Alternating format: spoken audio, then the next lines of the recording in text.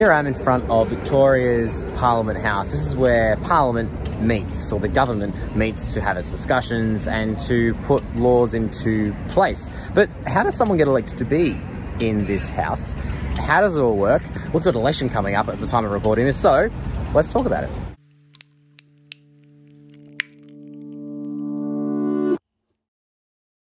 This video is made primarily for people living in Victoria, the state of Australia where I live. But if you're outside of Victoria but in another state or territory in Australia, there may be some similarities to the way your state or territory runs elections. And if you're outside of Australia, get ready for a crash course in how other places run their elections. Democracy is an incredibly valuable thing, and understanding how a democratic system works and how elections are run Um, is an important part of participating in a democracy. So let's get to it. When do elections happen in Victoria? Well, Unlike Australia at a national or federal level, we have fixed terms and election dates. Every four years, on the last Saturday in November, a state election is held to determine who will make up the parliament, unless the governor unexpectedly dissolves parliament. The governor, of course, is the representative of King Charles III and is not an elected official, and I can't see that being a problem for a democracy. At the time of recording this, Victoria will go to the polls on November 26, 2022. Or, if you're not watching in 2022, it will go to the polls on November 28, 2026, or November 30, 2030, November 25, 2034, November 27, 2038, and if you're watching this beyond 2038, please leave a comment with a meme that a person from 2022 has no concept of. Before we talk about how Victorian Parliament is structured, let's put it in context. In Australia, there are three levels of government. Federal or national, this level of government is responsible for issues that affect all Australians, such as post, internet, money, immigration and defence. The federal government uses taxes to fund its expenditure. Then there are state or territory governments. These are more local and have the responsibility for things like public transport, schools and hospitals. They also get their funds from taxes, but more than half of their budgets come from the federal government. Then there are local governments, the most local kind of government who are responsible for looking after issues that affect communities such as parks and rubbish collection. Local governments receive their money from taxes or council rates of property owners, as well as from grants from state and federal governments. So Victoria is entering an election to elect its state government. But how does government in Victoria work? Victoria's parliament is based on the Westminster system, similar to how Australia at a federal level structures its government and is based on the system they use in the United Kingdom. It's bicameral, meaning that there are actually two houses in parliament. There is the lower house or the legislative assembly. When talking about lower houses or the legislative assembly, I will use green because it is the color that the room is carpeted and upholstered in, along with the lower houses in nations using a Westminster style system. The legislative assembly writes laws, and for these to be passed, the upper house or the legislative council needs to approve them. And they will be depicted in red, the colour of upper houses in nations using the Westminster style system. Why are there two houses? The idea is that it enables more checks and balances and that there is a less concentration of power in one area. In Victoria, the leader of the government is called the Premier.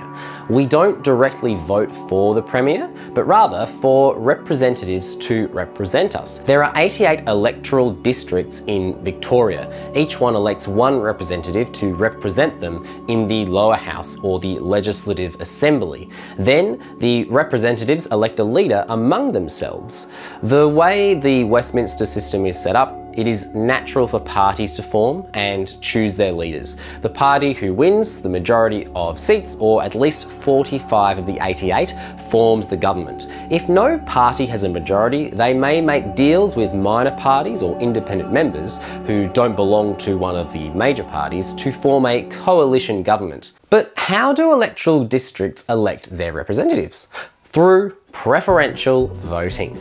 I've already made a video this year raving about how preferential voting is the best kind of voting. There's a link to that if you want to see the mock election that we ran together. But to simplify, there is generally a handful of candidates on each ballot paper.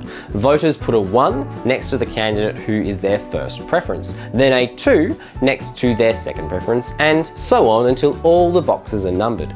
The reason this occurs is so that a majority can be found. Let me explain. In most democracies around the world, first past the post voting is the system that is used. That means that whoever has the most votes after the first round wins the election. But if there are more than two candidates on a ballot, this regularly means that a candidate wins with less than a majority of votes. Let's use a pizza party to describe this. Let's say we gather 10 friends and they're having a pizza party.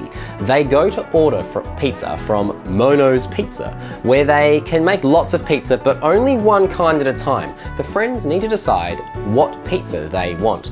Let's say three friends want Hawaiian pizza but the other seven don't because they believe that pineapple doesn't belong on pizza and they hate pineapple on pizza and they want nothing to do with it, they want anything else. So two pick capricciosa, two pick meat lovers, two pick supreme, one picks margarita.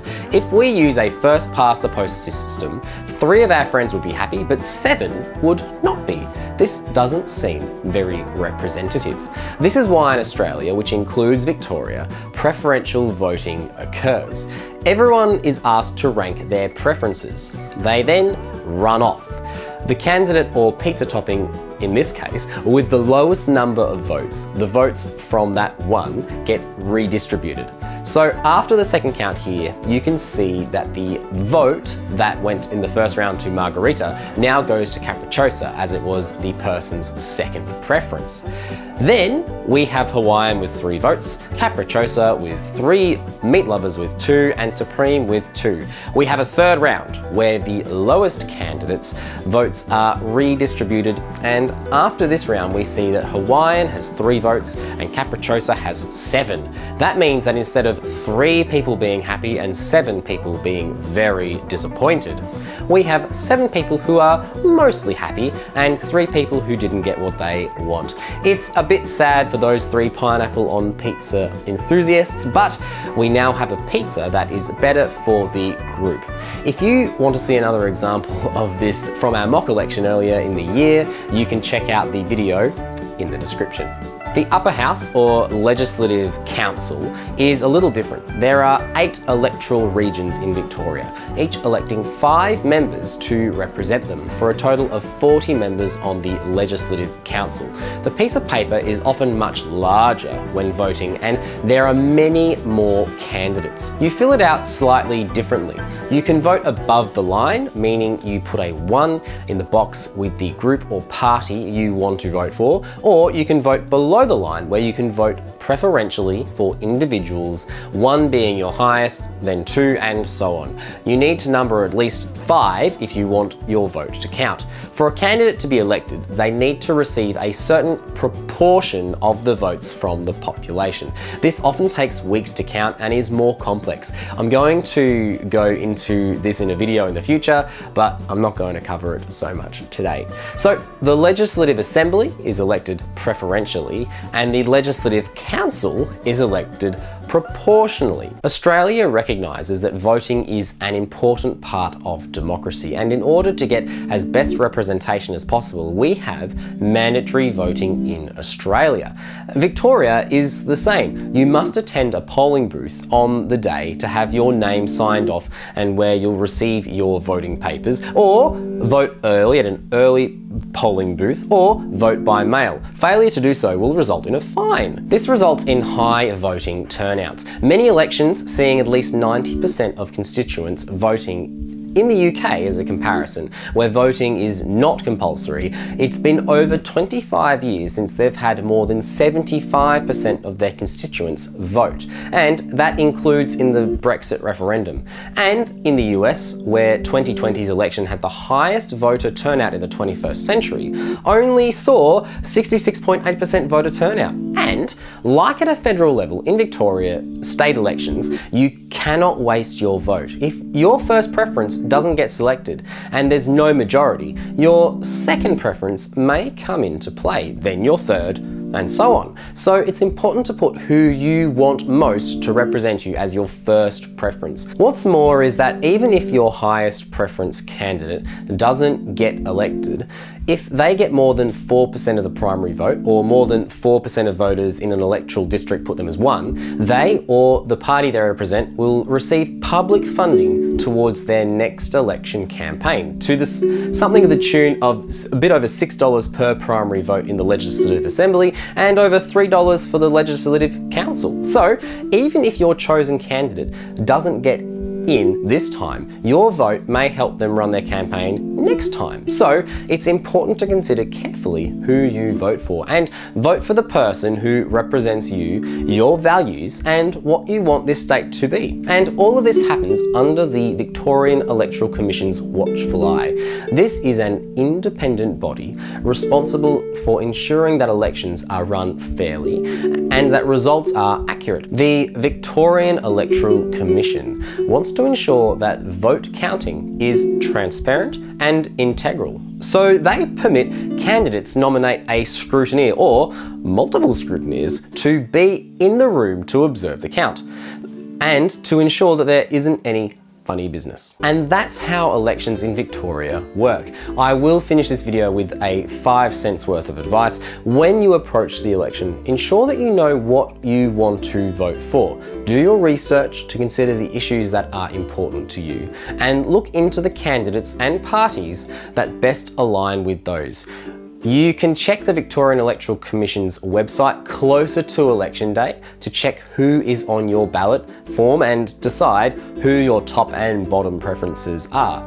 And you absolutely don't need to accept a how to vote form from volunteers from political parties. And you don't have to vote the same way you did last time or the way your friends or family vote. In fact, our elections are anonymous, so there's no way to track it back to you anyway. Elections are such an important part of democracy and people will try to convince you to vote in certain ways. But at the end of the day, we all have the power given to us and we can best use it by being informed about the process. I love democracy and I think elections are brilliantly fascinating. If you'd like to see more videos like this, well, most of my videos aren't about elections, but are about things which fill me with a sense of curiosity curiosity and wonder. Uh, if you would like to see more like those, please check out the videos on the screen now or subscribe to ensure that you don't miss any future videos. Take care, stay curious, and I will see you next time.